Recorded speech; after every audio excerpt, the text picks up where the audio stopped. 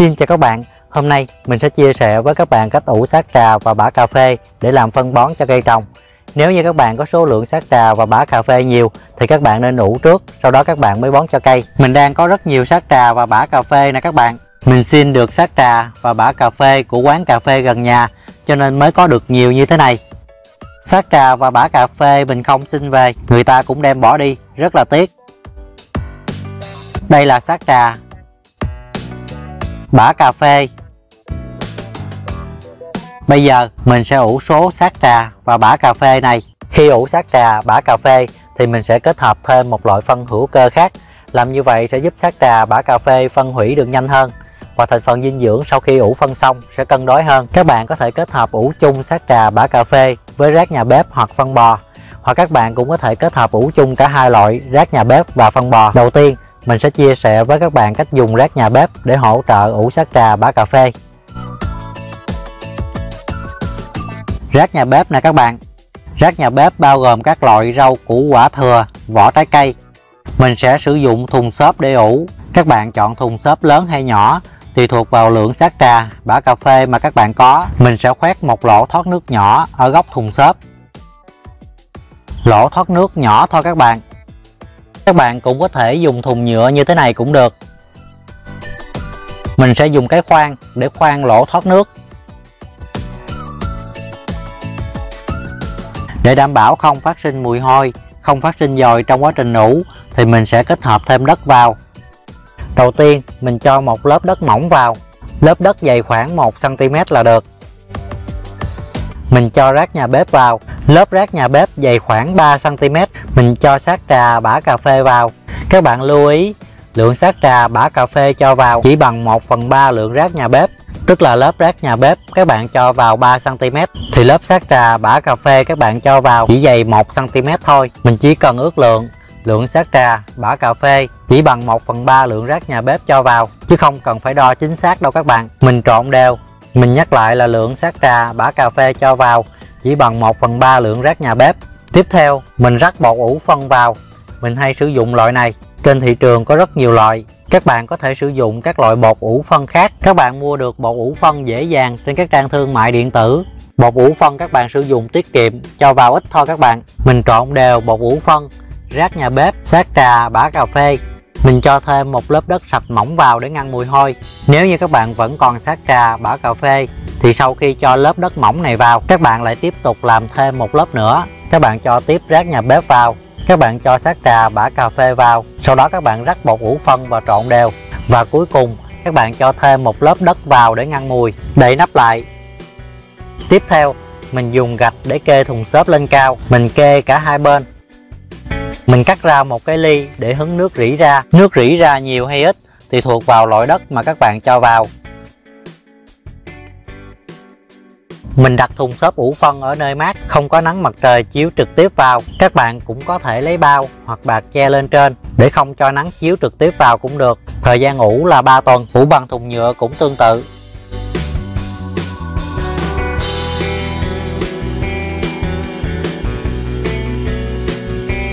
Nếu các bạn sử dụng thùng nhựa loại có vỏ mỏng thì các bạn lấy cái bao lớn các bạn trùm lên để giữ nhiệt. Bột ủ phân chưa sử dụng hết thì các bạn buộc kín lại để nơi mát mẻ, không để ánh nắng mặt trời chiếu trực tiếp vào.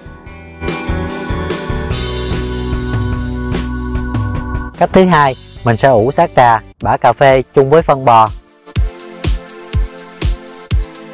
Phân bò mua ở cửa hàng thì đa số là dạng khô như thế này phân bò ở dạng khô, muốn ủ được với sát trà bã cà phê thì cần phải ngâm nước cho mềm ra mới ủ được. Còn nếu như các bạn có loại phân bò đã ủ hoai thì các bạn không cần ngâm nước. Do phân bò loại đã ủ hoai thì rất mềm và có đủ độ ẩm cần thiết. Nhưng hiện nay, để mua được loại phân bò đã ủ hoai thì rất khó.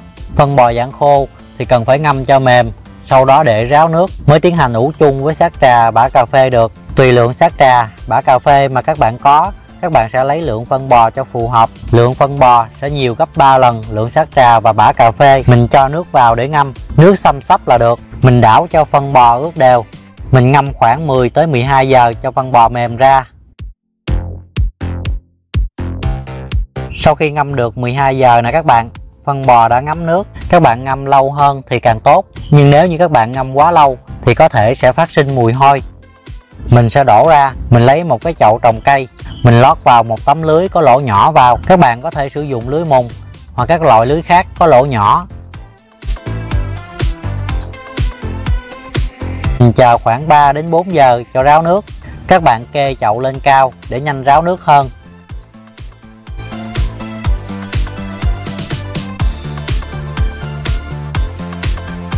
Mình dùng thùng xốp để ủ. Mình cho phân bò vào. Do phân bò mình đã để ráo nước rồi cho nên các bạn không cần phải khoét lỗ thoát nước cho thùng xốp. Nếu như lượng sát trà, bã cà phê nhiều, thì các bạn chia ra làm nhiều lớp. Mỗi lớp phân bò dày khoảng 3 cm bởi vì nếu như các bạn cho vào quá nhiều, thì khi trộn sát trà, bã cà phê với phân bò sẽ không đều. Mình cho sát trà, bã cà phê vào. Lượng sát trà, bã cà phê bằng 1 phần 3 lượng phân bò, tức là dày khoảng 1 cm mình trộn đều. Mình cho bột ủ phân vào trộn đều. Do mình có nhiều sát trà bã cà phê, cho nên mình làm thêm một lớp nữa. Mình tiếp tục cho vào một lớp phân bò dày khoảng 3 cm mình cho sát trà bã cà phê vào. Trộn đều. Rắc bột ủ phân vào. Trộn đều. Cuối cùng, mình rắc lên bề mặt một lớp bột ủ phân mỏng để ngăn mùi. Đậy nắp lại. Như vậy là xong rồi đó các bạn cách này không có khoét lỗ thoát nước, cho nên mình không cần kê thùng xốp lên cao. Mình cũng ủ trong 3 tuần là sử dụng để bón cho cây được. Cách thứ ba, mình sẽ kết hợp cả rác nhà bếp và phân bò để ủ chung với sát trà bã cà phê. Do có sử dụng rác nhà bếp, cho nên mình sẽ khoét lỗ thoát nước cho thùng xốp. Mình cho một lớp rác nhà bếp vào. Mình cho vào một lớp phân bò đã ngâm và đã để cho ráo nước lớp phân bò và lớp rác nhà bếp dày khoảng 3 cm mình cho sát trà bã cà phê vào. Trộn đều. Cho bột ủ phân vào. Trộn đều bột ủ phân, rác nhà bếp, phân bò, sát trà và bã cà phê. Cuối cùng là một lớp đất để ngăn mùi. Đậy nắp lại.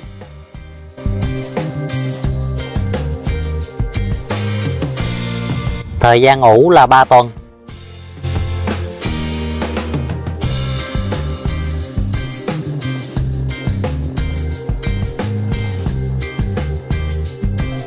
Trong quá trình ủ sẽ phát sinh nhiệt, mình sờ thấy hơi ấm. Nếu ủ có rác nhà bếp thì mình không cần trộn, do lo ngại mùi hôi. Còn loại phân bò khô đã ngâm và để ráo nước như thế này thì hầu như không phát sinh mùi hôi. Cho nên khoảng 4 năm ngày thì mình trộn đều một lần. Mình trộn khoảng 3 lần là được.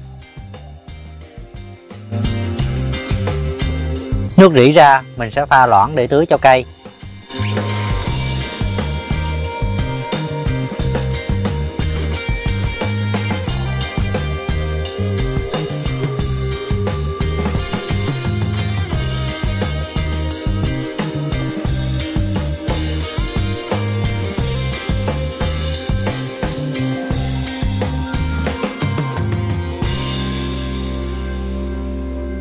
ủ được 3 tuần thì mình sẽ lấy bón cho cây. 3 tuần là thời gian tối thiểu nha các bạn. Các bạn ủ lâu hơn, khoảng 4 năm hay 6 tuần thì càng tốt. Mình trộn đều tất cả và mang đi bón cho cây. Khổ qua mình trồng đợt mới nè các bạn. Mình sẽ bón cho những cây khổ qua này. Mình môi một lớp đất mỏng xung quanh gốc sát mé chậu. Mình bón vân vào.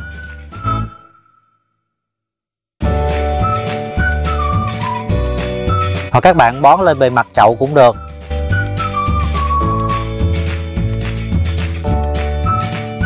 Khổ qua đã bắt đầu cho trái.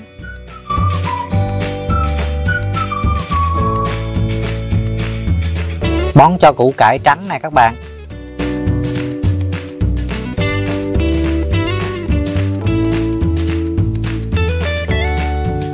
Cải hoa hồng.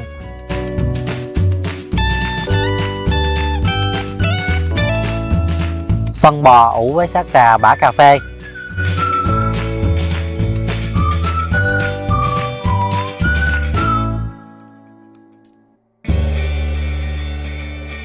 Cải bẹ xanh.